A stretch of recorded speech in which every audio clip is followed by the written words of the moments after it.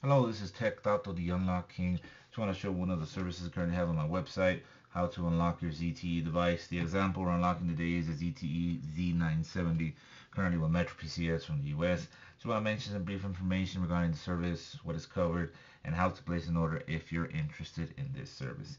All we need is three pieces of information, EMEI carrier model, this actual service applies to most ZTE devices around the world.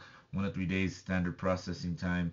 We do have an express service available. Now just remember something very important. If your device is Metro PCS or T-Mobile and has a device unlock app, we have a service that will unlock that. It's just a different type of a process and a different type of a service. So I recommend checking out my other YouTube videos where you can see where we're unlocking those models as well. Now, if you're interested in this service, head over to my website, techtato.com, where you can request it, pay for it. Once the actual order is placed, it's a matter of waiting for the unlock instructions. Very, very easy, very, very simple. Now, make sure your device requests an unlock code. Simply change out the SIM card and restart it if an unlock menu appears.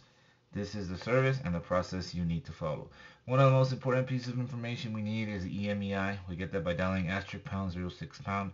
Take note of information that appears on the screen and enter it on the ordering section of my site so we can process the order and uh, send you the necessary information with the unlock of your device.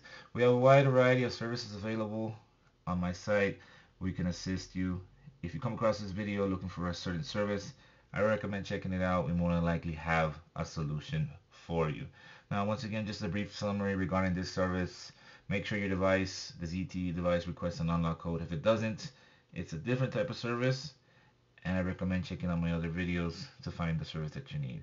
If it's blacklisted, the device will work, but for use only outside the country. One or three days is standard processing time. In certain situations, it can take up to five days due to high demand.